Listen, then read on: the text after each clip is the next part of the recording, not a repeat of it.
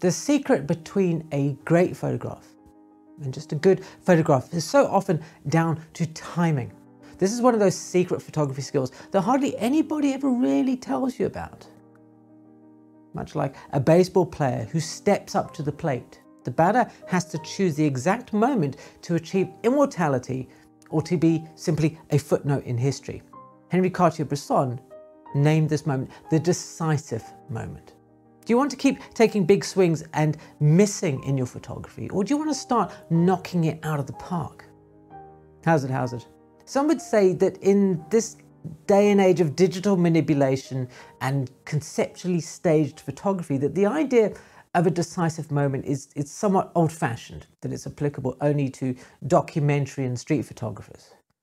However, I believe the ideas at the core of capturing these little moments, the watching, the waiting, and being aware of what is occurring around you are those elements that any photographer, irrespective of the genre that they work in, should be injecting into their photography to make it a richer and more rewarding experience, both for them and for the viewer. The key to unlocking this ability to see those decisive moments isn't going to be found in your camera or running around taking thousands of frames of everything that passes you by, but being aware of what's going on on the edges of your photographs. When people talk about the decisive moment, this is usually the photograph that is used. It was taken in 1932 by Henri Cartier-Bresson, and it's called, and if you'll excuse my pronunciations, Behind the Gare Saint-Lazare. A man is captured mid-leap above a puddle, forever about to fall short of a safe landing. It's a moment frozen in time, which in real life was probably swept away with the ebb and flow of life which constantly passes us by.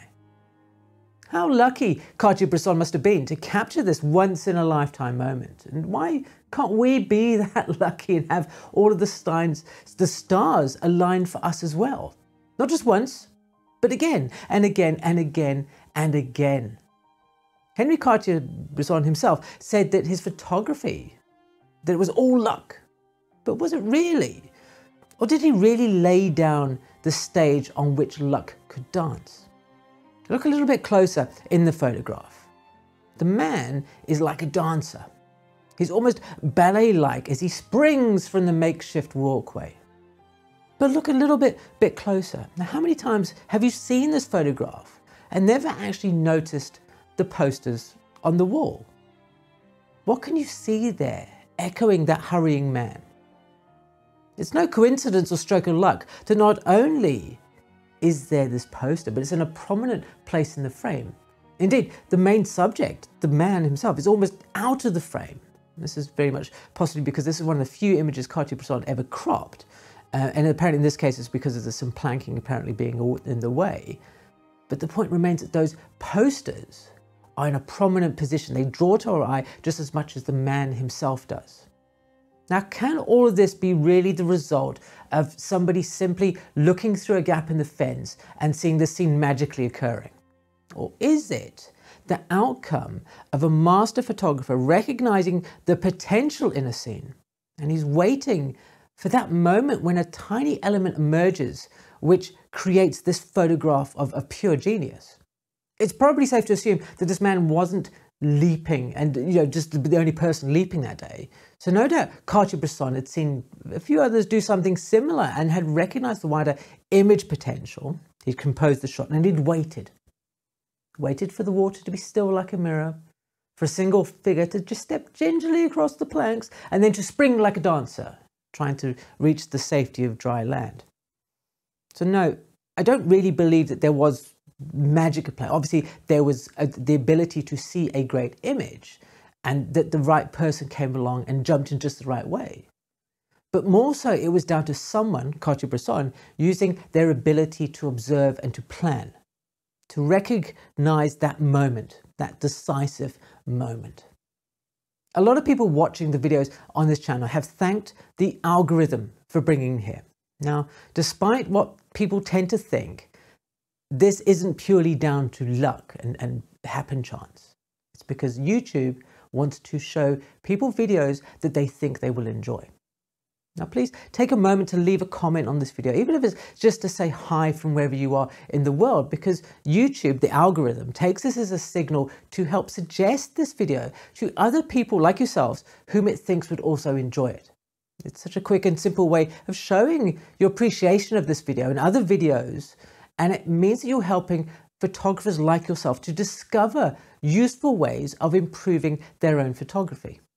Now that you have a better understanding of what timing looks like, how are we going to incorporate that into your own photography? Most people tend to think of the decisive moment in terms simply of, of sort of street photography, but it can be quite happily applied to portraiture, to landscape photography, and, and to macro photography. Indeed, most genres of photography have capacity to give you a decisive moment. When you look at street photography, Henri Cartier-Bresson's photography is carefully composed and it has almost a sort of impersonal feel to it, especially when you compare it to the likes of somebody like Garry Winogrand or, or Joe, Joe, or Joel Meyerowitz. I don't know, why am I stripping over that one? Anyway, their photography is about walking, and seeking out these moments of convergence rather than a meticulously crafted composition on which elements dance. Of course, all of these approaches are eh, totally valid, and at, but at the heart of them is this ability to recognize those moments when they show themselves to you. You can start by not bringing up your camera to your eye all the time. When you think about those landscapes that you're looking at, is the sun constantly disappearing and reappearing behind the clouds? When you're talking to a person before you take a portrait of them, and if you do do portrait, I certainly hope that you take the time to talk to people before you photograph them. Are you noticing how their face changes depending on what it is that they're talking about? That fleeting expression that goes just across their, their, their face. The flower that you want to photograph, that beautiful, lovely macro look, are there bees that dance in it? Dance on the surface from time to time. Watch, wait, anticipate, and you're going to start to tap into what Cartier-Bresson was, was a genius at. Be aware of what might change in your frame, and that is going to make your photograph come alive. It's not a specific thing. You're not, not something that you can put your finger on. It's just a shift in the vibe of the image that elevates it. Be open to the idea that the unexpected can and will happen. And that's what is going to make the photo. The more that you use your eyes and also, quite importantly, your ears, you can start to feel when something special is going to happen. Set yourself up for it. In the words of Henri Cartier-Bresson, your eye must see a composition or an expression that life itself offers you.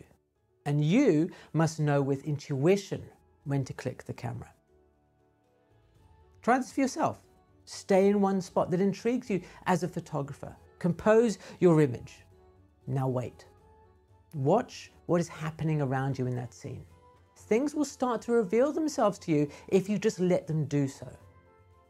Perhaps you'll be like that batter we saw earlier, who had practiced for hours in the nets, who was aware of what options that hurtling ball could take, and he trusted himself enough to go with his intuition. And he timed swinging that bat so that it struck the ball true and out of the park. If you've enjoyed this episode, Alex Webb is a fantastic photographer who is not only a master of seeing a decisive moment, but also uses layering within his photographs to create a rich and meaningful image. I highly recommend looking at his photography, which I've linked for you here on the right. Click there and you'll go straight to the next video. Thank you ever so much for watching.